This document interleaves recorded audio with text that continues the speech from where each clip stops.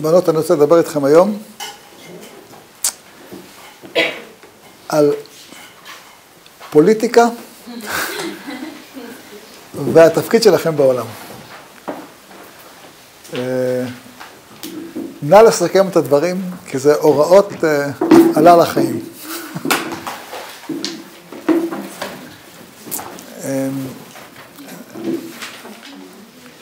אתמול הושבעה כנסת חדשה, שיש לה מאפיינים מאוד מעניינים. ותורכב ממש בזמן הקרוב ממשלה, שיש לה גם מאפיינים מאוד מעניינים. מה, מה הממשלה שתקום, הקואליציה, מה שקורה, זה חצי מהקואליציה זה מפלגות דתיות, ובאמת לא דתיות, אלא יותר אה, אה, תורניות, כן? זה חצי, 32 מתוך 64, הן מפלגות תורניות. ובתוך ה-32 האחרות, בערך חצי זה אנשים דתיים שומרי שבת, כן? זה הקואליציה העתידה לקום, וגם מתוך האופוזיציה יש עוד אה, מניין של דתיים לפחות? זאת אומרת, יש לנו כנסת שחלק מאוד גדול בתוכה זה נבחרת ציבור שהמאפיין שלהם זה שמירת שבת. באופן מאוד אמוני. המדינה לא קמה ככה. כשאני הייתי בגילכם, בנות, הכנסת, הכנסת נראתה לגמרי אחרת. בוא נאמר, המפלגה הדתית-לאומית הייתה מפלגה שכולם בלי, כוסי, בלי כיסויי ראש. אנשים היו בלי כיסוי ראש. זה היה המאפיין שלהם. היום כל האנשים של המפלגות הדתיות עם כיסוי ראש. כל הגברים שם זה נשים שיש להם כיסוי ראש. כל הגברים שהיו אז, שזה מאפיין כמובן לסוג של מחויבות הלכתית, מחויבות לתורה. שלא כל המצביעים הם כולם עם כיסוי ראש, אבל כל המצביעים אומרים, אנחנו רוצים שייצגו אותנו אנשי תורה. אנחנו רוצים שייצגו אותנו אנשים שומרי שבת, אנשים ערכיים, אנשים שמאמינים. הציבור החליט שאנחנו רוצים את המנהיגים שלנו מהמקום הזה. זה שינוי מאוד משמעותי. שקורה בחברה הישראלית כולה, ממטולה ועד אילת. יש שינוי, שינוי בחברה. מי חולל את השינוי הזה? מי מחולל אותו? שלטי הבחירות על הגשרים? זה הקמפיין שעשו לפני הבחירות, אותו אה, ראיון ברדיו שאמר פלוני או אלמוני, אותו עימות טלוויזיוני שלא היה או היה, לא יודע, היה או לא היה בסוף? לא היה. אה, מה, מה להיות השינוי? זה ברור לכולם שמה שיכול להיות השינוי זה עבודה רבת שנים של הרב נריה, עליו השלום, ושל הרב דרוקמן, יאריך ימים, ושל הרב אייל בישיבת ההסדר, של הרבנית טובה בזק פה, וגם הרבנית אשתי טובה אליהו. וכן על זה הדרך. עבודה רבת שנים של אנשים שעושים פעילות שמשמעותה ערכיות. ללמד את עם ישראל ערכיות. ערכיות, אמונה, צדק, דבקות, אהבת השם, רוחניות, קדושה. ועם ישראל הולך וצומח, הולך וגודל. הולך ומתחזק. אפשר לספור את זה, היום אתה יכול לספור את זה, לראות, זה, לראות את השינוי. קורה שינוי, מתחולל שינוי. השינוי הזה קיים. הוא מתבטא בהרבה מקומות, הוא מתבטא במספר הישיבות, במספר האולפנות, במספר המדרשות, מספר היישובים ביהודה ושומרון. מספר התושבים שחצה לאחרונה את החצי מיליון תושבים ביישובי יו"ש, מלבד עוטף ירושלים, שזה עוד כמה מאות אלפים. זה תהליך שקורה, שהוא קורה בימינו, שאני זוכר, עוד ראיתי אותו. אני עוד זוכר את היום שהייתי בכנסת, אה, בחור צעיר, ולבית הכנסת, בית הכנסת שבתוך הכנסת לא היה מקום, היה צפוף. התפעלו מניין אחד בתוך הבית כנסת, מניין אחד מחוץ לבית כנסת של הכנסת. אה, שאלתי אותם, למה עשיתם כזה בית כנסת קטן? אמרו, מה זאת אומרת? כשבנו את הכנסת, מספר חברי הכנסת דתיים היה פחות ממניין. לא היה מניין, אני עוד זוכר את זה, לא היה מניין חברי כנסת דתיים. לא היה. אה, אגודה היה להם שלוש, פועלי אגודה היה להם אחד. אה, הפועל המזרחי, שזה מה שקוראים אה, דתיים לאומיים, היה להם שלוש. זהו, זה מה שהיה. אה, והיה עוד איזה אחד, חבר כנסת דתי במפלגת העבודה, קראו לו מנחם הכהן. זהו, זה מה שהיה. והיום הרסו את הישן ובנו חדש, בתוך ה... שיפצו. היום יש שם כסף ענק. למה? כי השתנ... השתנתה החברה הישראלית. החברה משתנה. עכשיו, לא רק החברה הישראלית משתנה, העולם משתנה. אנחנו רואים היום את המהפכה באיראן. אנשים נאבקים, משלמים על זה בחיים שלהם, כבר נהרגו מאות מפגינים, נאסרו אה, אלפים רבים, בתנאים מזוויעים, ואנשים ממשיכים להיאבק. אומרים לך, לא רוצים את מלכות הרשע הזאת. לא רוצים את מלכות הרשע. מאיפה הכוח להיאבק? מאיפה צומח הכוח להיאבק? ממלכות הרשע. העולם משתנה. לפני 30 שנה, הכוחות האלה פעלו בברית המועצות, והפילו 15 ממלכות רשע. מעצמות, הפילו מעצמות, 15, ברית המועצות, מעצמה עם 15 מדינות, קרסה. ממה? מהתעוררות רוחנית פנימית. של אנשים שאמרו די לממשלת הזדון. לפני 80 שנה. זה קרה באירופה. היו ממשלות זדון באירופה שקרסו. והעולם, היום העולם הרבה יותר טוב. לפני 200 שנה, זה קרה ב... באמריקה, בצרפת זה התחיל, מהפכה האמריקאית, אחרי זה המהפכה הצרפתית, בערך עשר שנים אחר כך. אחר כך העולם זז. העולם בתנועה קדימה, אנחנו בתנועה קדימה, ואתם תמשיכו את התנועה קדימה. התנועה מתרחשת בעבודה רוחנית. זה מה שמשנה. מה שמשנה את העולם זה ספר. מה, איך, איך קמה רוסיה? איך קמה המדינה הקומוניסטית? מעצמה שקרסה, אבל איך היא קמה? היא קמה עם ספר. מרקס כתב ספר, איך מתקנים את העולם, והוא היה אדם עני. לא, הוא אפילו לא גר ברוסיה, הוא גר נדמה לי בצרפת. הוא יהודי, מתבולל. הוא אומר, היום החברה בעולם היא חברה נצלנית, מרושעת, נצ... צריך להפוך אותה, צריך לעשות, לעשות התקוממות. הספר שלו עף מיד ליד, אנשים קראו אותו בגלוי או בהסתר, ואמרו, יאללה, בואו נעשה את זה. ואז קם לנין, ואמר, בואו נעשה את זה. רוב מי שעמד לידו היו יהודים. והם עשו מהפכה.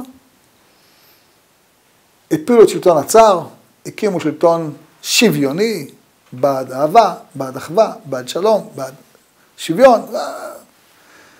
אני, אני מאמין שלפחות רובם הגדול האמינו שזה מה שהם עושים. אין ספק שהשינוי הזה יצר שינוי בעולם, אבל uh, העולם מתקדם, בוא נאמר, משלטון הצאר, המרושע והאכזר, העולם מתקדם משלטון הקומוניסטי. צעד חשוב. אבל גם השלטון הקומוניסטי הזה הוא לא היה טוב. ואחרי 70 שנה הוא קרס. ובא משהו יותר טוב. פוטין טוב? אני בטוח שיש כאלה שחושבים שלא. אבל אין ספק שהוא הרבה, הרבה הרבה יותר טוב ממה שהיה בזמן סטלין. זאת אומרת, העולם זז. צריך לראות העולם בתנועה. העולם בתנועה, וחשוב לומר, ברוסיה במיוחד, התנועה הזאת היא מונעת בחלקה הגדול על ידי יהודים. בעולם. גם בארצות הברית של אמריקה זה כך. אה, כשג'ון אדמס, הנשיא השני של ארצות הברית, שנחשב אה, מהאבות המייסדים של אמריקה, כותב את הערכים שעל פיהם אמריקה תתנהג. ובאמת אה, אלה היו הערכים המובילים. אז הוא כותב, הערכים שאנחנו רוצים לאמץ לעצמנו זה הערכים של העם העברי. הצדק, החירות, המשפט,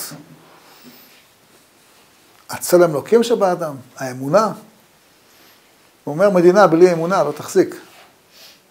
בלי ערכים לא תחזיק. אם אנחנו נקים את העם האמריקאי בלי ערכים של העם העברי, הוא, הוא יקרוס. אנחנו מאמצים את הערכים של העם העברי.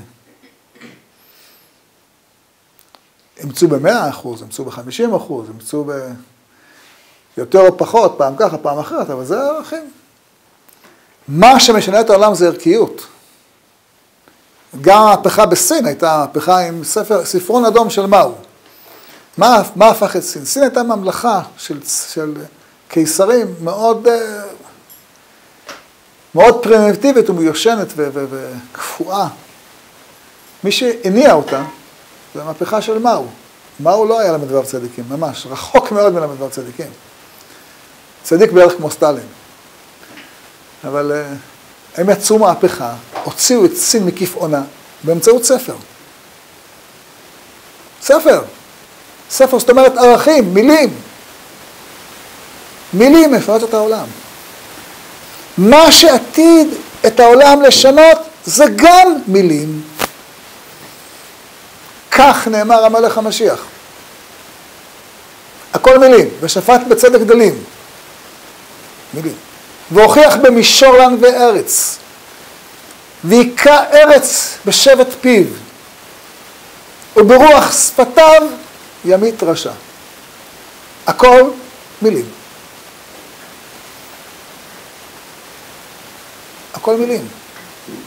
ואנחנו נמצאים בדור שבו אנחנו אמורים להמשיך את השינוי הגדול שנעשה באמצעות מילים, באמצעות ערכים, שהם בסופו של דבר מניעים אנשים. יש לך אדם, יש לו מיליון דולר או מיליארד דולר,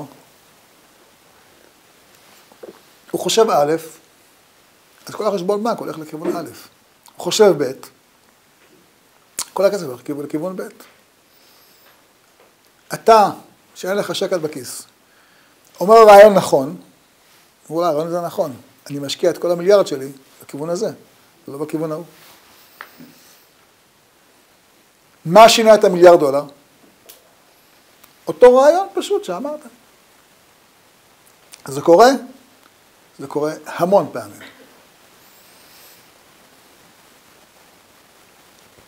זה קורה כל יום.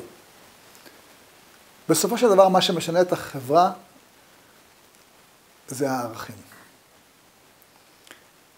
אין מקום שמחולל שינוי בחברה יותר מבית מדרש.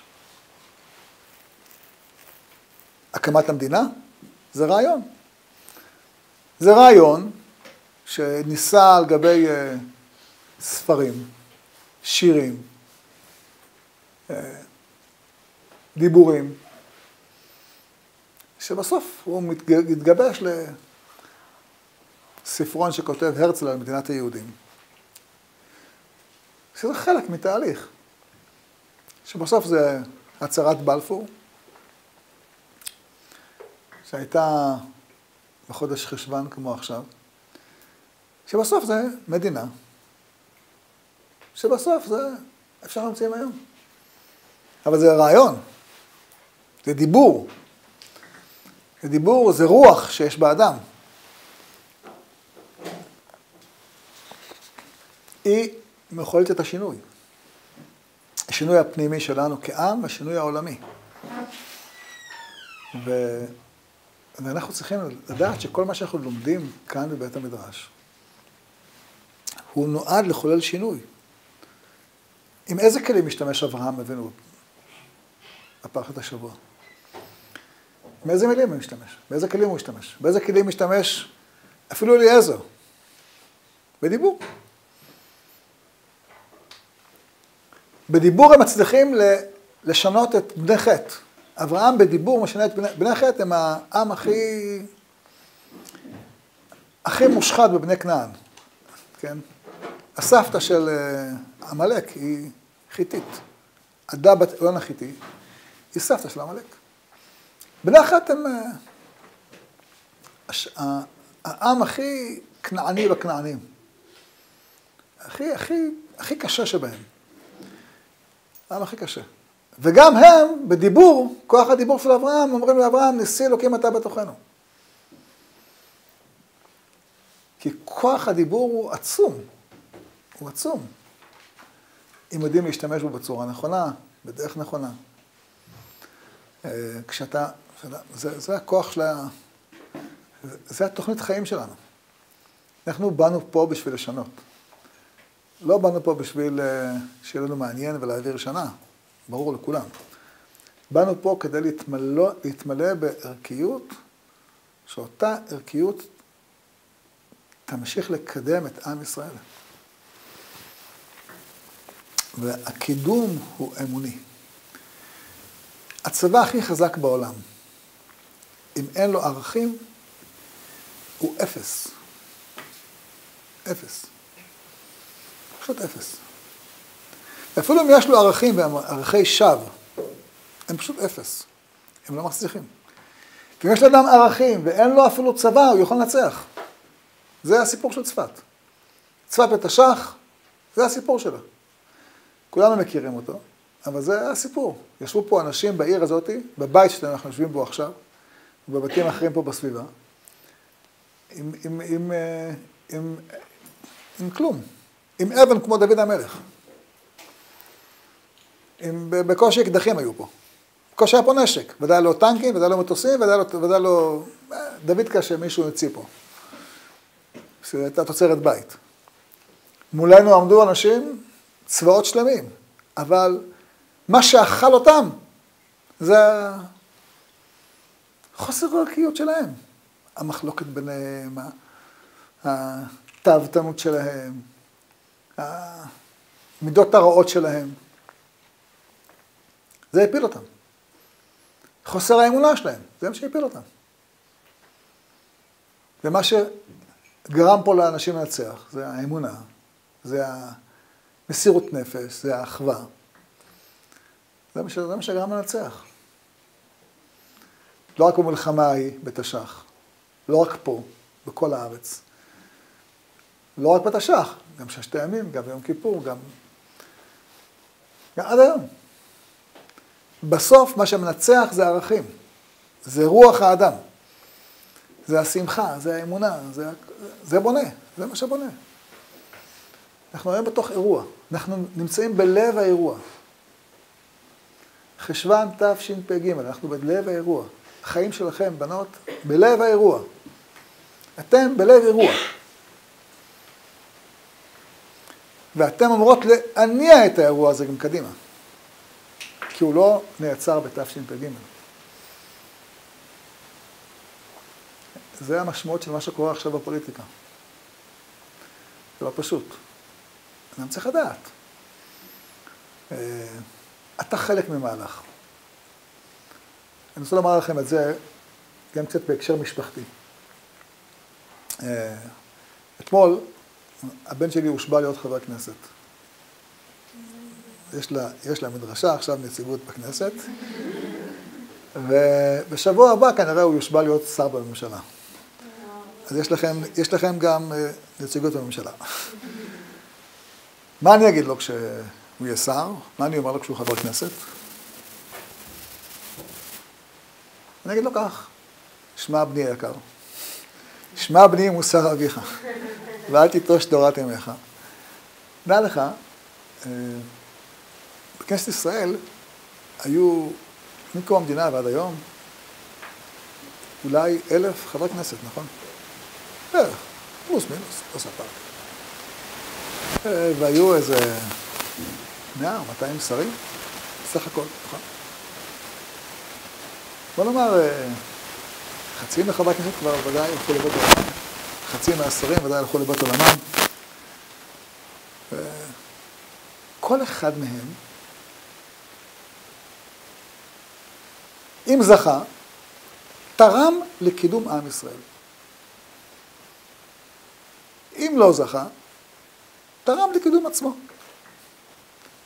אם קלקל, הרס לקידום עם ישראל. הוא עוצר את התהליך של עם ישראל? הוא לא יכול לעצור אותו. זה מלאך אלוקי. קיבוץ גלויות זה מלאך אלוקי. זה לא מלאך שלך. לך יש זכות להיות שותף בו. תעשה את הדבר הנכון, תהיה חלק ש... מתהליך הגאולה של עם ישראל.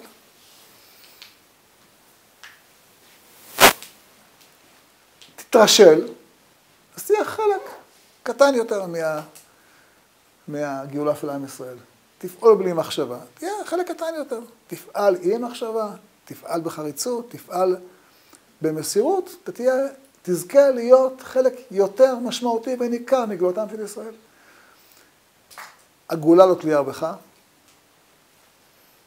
היא לא מהלך שלך, היא מהלך שמופיע פה. כל מה שכתוב, מה שקורה במדינת ישראל, זה נבואות שכתובות פה בספר.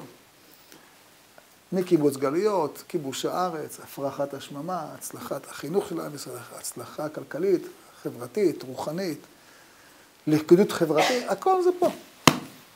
תזכה, תיישם את מה שכתוב פה. אני אברך אותך, בני היקר, שתזכה. שתזכה ליישם את מה שכתוב פה. יבואו אחריך עוד אחרים, שהם ימשיכו מהמקום שבו אתה הפסקת. כמו שאתה ממשיך ממקום שאחרים הפסיקו. אנחנו חלק מתהליך.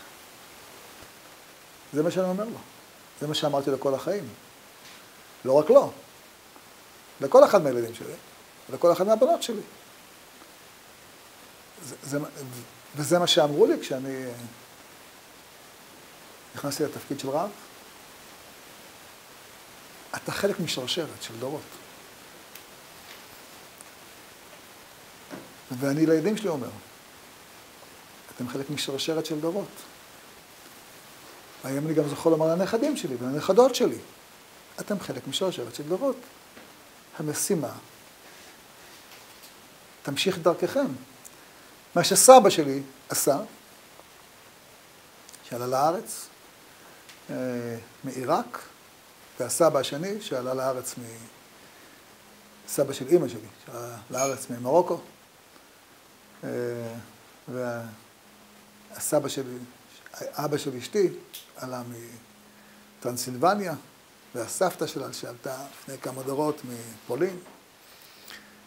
אה, כולם היו חלק מחלום, מרוח שהניע את כולם, כמו שהניע את ההורים שלכם, ואת הסבים שלכם, את הסבתות שלכם. חלק מרוח שהניע את כולם, והם עשו בתורם את מה שהם עשו. בשביל הסבא שלי לקנות אדמה מחוץ לחומות ירושלים, זה היה היסטוריה. בשבילי זה נשמע, מה, זה, זה נקרא ציונות? לקנות אדמה בירושלים? מחוץ לחומות ירושלים? מי, מי, מי, היום תקנה אדמה בתוך חומות ירושלים, זה נקרא ציונות. אבל אז היה, מחוץ לחומה, וואו, איזה אומץ, איזה אמונה, איזה חזון, איזה, איזה יופי, איזה פלא. בסדר, כל דור והמשימות שלו. בסוף כולם מתלכדים למשימה אחת. אדם זוכה הוא חלק מהגאולה. ואני אומר לבן שלי, תהיה חלק מהגאולה. ואני אומר לכל הבנים שלי ולבנות שלי, תהיו חלק מהגאולה. כל אחד במשימה שלו. אתה תהיה ראש אולפנה, אתה תהיה רב גרעין, אתה תהיה... כל אחד במקום שלו, בכישרונות שלו, ביכולות שלו, אבל כולם עם אותה רוח. שהיא באמת הרוח של אברהם אבינו. שהיא באמת הרוח של שרה אימנו. שהיא הרוח של, של מערת המכפלה ושל יצחק ורבקה ושל יעקב והאימהות. ושל משה רבנו ושל יהושע אבינו ושל דוד המלך, זו אותה רוח. ושל רבי עקיבא, ושל הגר"א ושל הבעל שם טוב, ושל... ו... ואותה רוח נושבת בכולנו.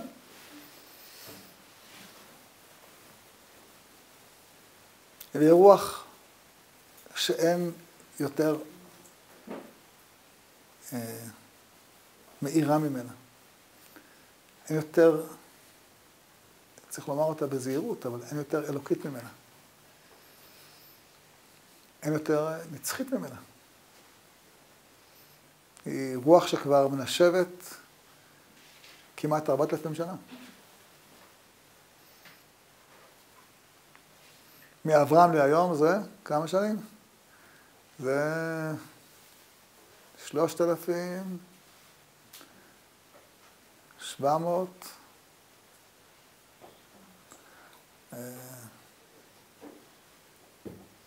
שלושים, מאז שאברהם נולד. שלושת אלפים שבע מאות שלושים שנה, מלידת אברהם. זה משמעותי. ומאז שאברהם עמד על דעתו, שלושת אלפים שבע מאות שמונים. ושלוש. שנת אלפיים. שנת אלפיים אברהם אבינו עומד על דעתו. זה רוח שנושבת בעם ישראל. מדהימה, פלאית, נצחית, חזקה מאוד. שאנחנו, שאנחנו שוכחים אותה, אנחנו מתפזרים בגלות. שאנחנו אוחזים בה, אנחנו צומחים באופן מדהים. אנחנו בדור שמחזיקים בה, צומחת, פורחת. אנחנו רואים בעיניים איך היא צומחת ופורחת. וזה ממש פלאי. כמו שאמרתי בתחילת הדברים, זה פוליטיקה, אבל זה לא פוליטיקה במובן המצומצם של פוליטי, שיש בו קצת מאיסות, אלא פוליטי במובן של חזון, במובן של יישום הערכים בשטח, יישום הערכים במציאות, יישום הערכים בחיים, יישום ערכים לא רק בחיים הפרטיים שלנו בבית, שאנחנו בבית נאכל כשר ונשמור שבת וקדושה וצניעות וכולי, אלא במרחב הלאומי, כעם. אנחנו כעם נמשיך ללכת בדרך האבות. זה שהכנסת נהיית יותר דתית, יש שם יותר כיסויי ראש ויותר אה, תפילות שחרית, מנחה וערבית, ויש שם יותר דברי תורה ואמונה ואנשי אמונה, זה אומר שהמרחב, שהרשות הרבים של עם ישראל הופכת להיות יותר אמונית. זה מאוד משמעותי. מאוד משמעותי. אנחנו עוברים ממצב שבו עוסקים בלהחזיר בתשובה את פלוני ואלמוני, ולחבר אנשים לקודש, את, את ראובן ושמעון, ודוד ויהודה, למצב שאנחנו מחזקים את רוח האמונית במדינה. זה לא עניין של מספר, כמה בעלי תשובה יש, אלא שרשות הרבים תהיה יותר אמונית. שמערכת החינוך תהיה הרבה יותר אמונית. שהצבא יפעל בקודים יותר אמוניים, שההתיישבות תהיה בקודים אמוניים. שהרוח שתניע את ההתיישבות, היא תהיה הזאת. והרוח שתוביל את הצבא, זה הרוח הזאת. והרוח שתוביל את משרד החינוך, זה הרוח הזאת.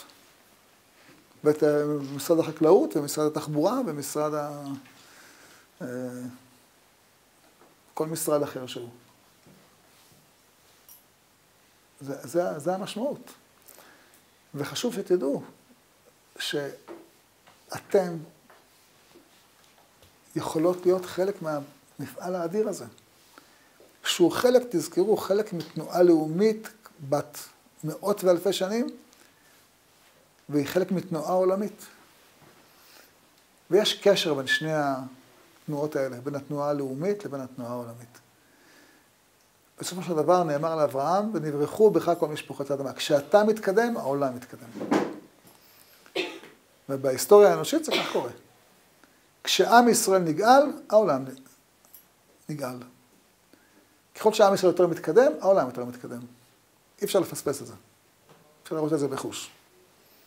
במקביל, תסתכלו, כשאנחנו מתחילים לעלות לארץ ישראל, העולם מתחיל לזוז. אנחנו בונים את ירושלים, העולם יותר זז. יש פה חצי מיליון תושבים, העולם עוד יותר זז. קמה מדינה, נחרטת החיה הנאצית. במקביל. כובשים את ירושלים, העולם מתקדם. יש פה שבע מיליון תושבים, העולם עוד יותר מתקדם. ביחד. יהיו כאלה שיגידו, הרב, אל תערבב, זה שני דברים שונים, שני דברים מקבילים, לא קשורים. המשפט הראשון של אברהם, זה קשור. זה מחובר, זה ביחד. וההיסטוריה מוכיחה, זה ביחד. כשעם ישראל קרס בחורבן בית שני, העולם שקע לימי הביניים. שקע, פשוט שקע, ירד אחורה, נסוג אחורה. כל העולם, כל העולם התרבותי הלך אחורה. אנחנו מתחילים לעלות, העולם עולה. כשרבי יוסף קארו והאריזל כותבים את הספרים שלהם וחוזרים לארץ ישראל, האירופאים מגלים את אמריקה. התהליך הוא, אתה לא יכול לפסס, זה, זה, זה ממש אותם שנים אפילו. אותם שנים. זה אותם, אותם תהליכים שהם מקבילים כל הזמן. אנחנו חלק ממכלול. כמו שאומר הכוזרי, עם ישראל הוא כמו לב באיברים. העולם הוא לא חד גוני, הוא מגוון. מגוון הוא מרקם. הוא מרקם שכל תזוזה באחד היא תזוזה בכולם. לא רק כל ישראל ערבים זה בזה, כל העולם ערב אחד בשני.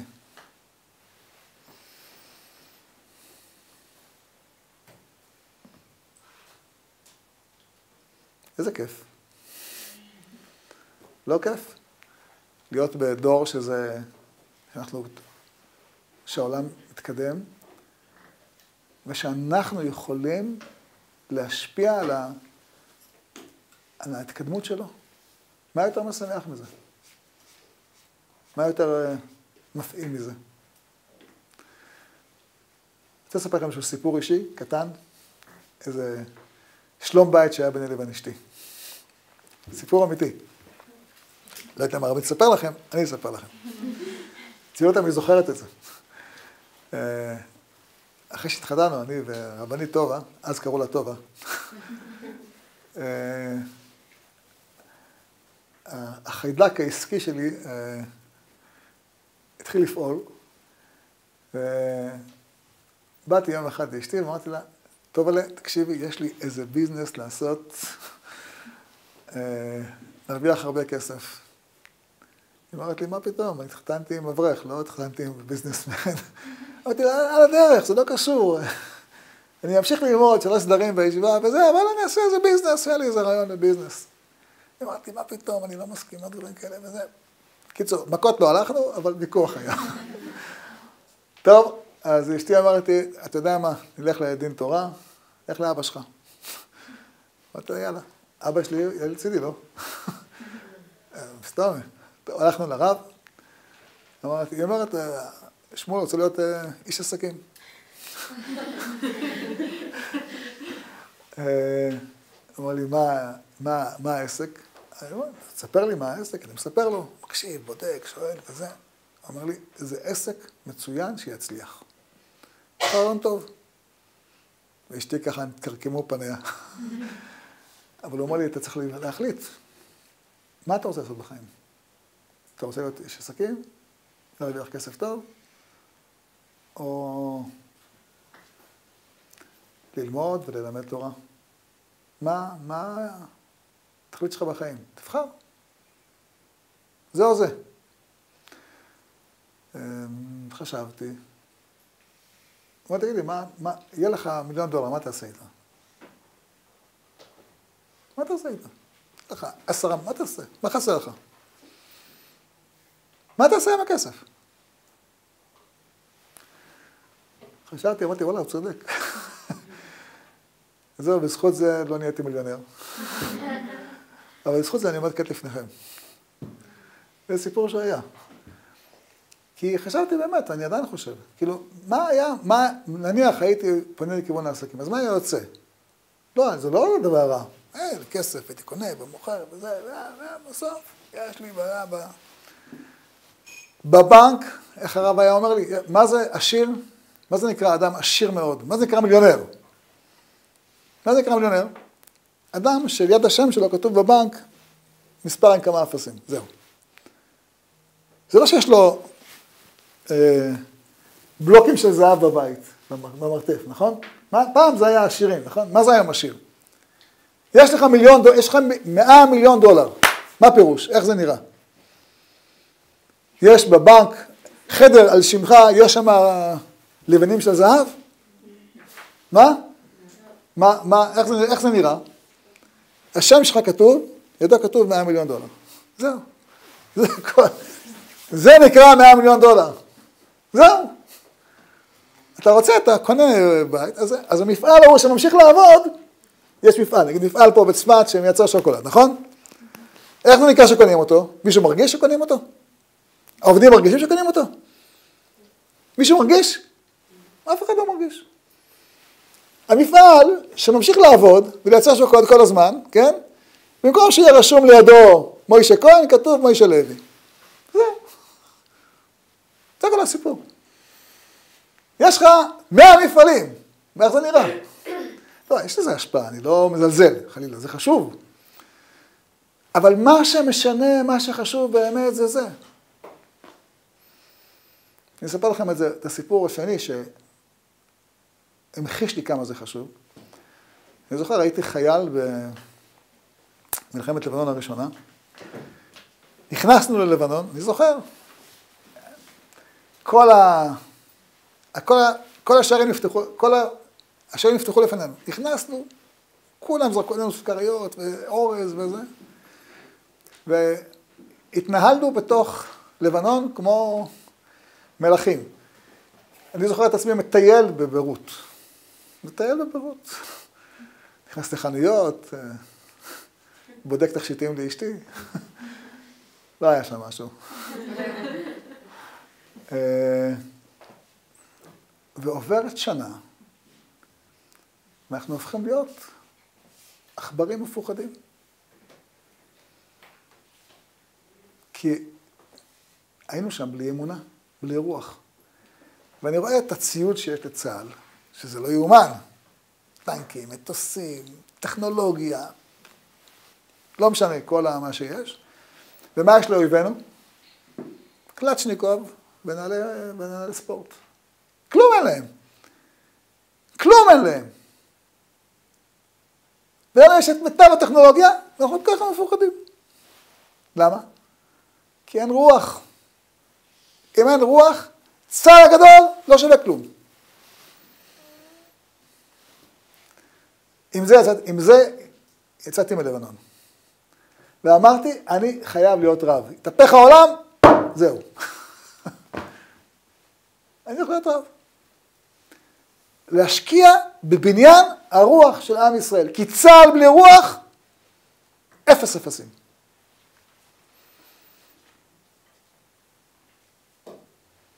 וברוך השם, אנשים שהשקיעו ברוח המדינה, אה, יכולים לראות בחוש איך זה עובד. זה עובד, פשוט זה עובד. אין דבר שמשנה את עם ישראל יותר מהרוח. העיניים חושבות, הפלדה משנה.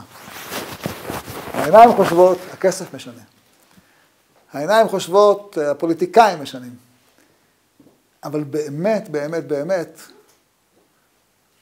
אתה כל מניעי הרוח, גם את הפוליטיקה, גם את הכסף, גם את הפלדה. מברך אתכם שתזכו להיות חלק מהבניין והצמיחה מהגאולה של עם ישראל. בהצלחה.